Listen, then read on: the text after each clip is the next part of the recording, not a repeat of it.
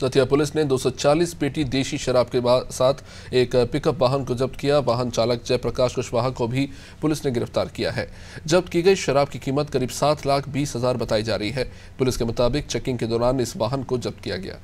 मुख्यालय के द्वारा नशा मुक्ति अभियान चलाया जा रहा है, जिसके पालन में पुलिस अधीक्षक महोदय द्वारा सभी थाना प्रभारियों को नशा मुक्ति अभियान के तहत अधिक से अधिक कार्रवाई करने हेतु निर्देशित किया गया था। इसी के तारतम्य में टी आई सिविल लाइन और उनकी टीम के द्वारा दिनारा रोड पर चेकिंग की गई थी, जिसमें एक पिकअप वाहन में 240 लीटर, चार, दो सौ चालीस पेटी शराब बरामद हुई है जिसकी कुल कीमत लगभग सात लाख बीस हज़ार रुपये के आसपास है और कार्रवाई आगे जारी है।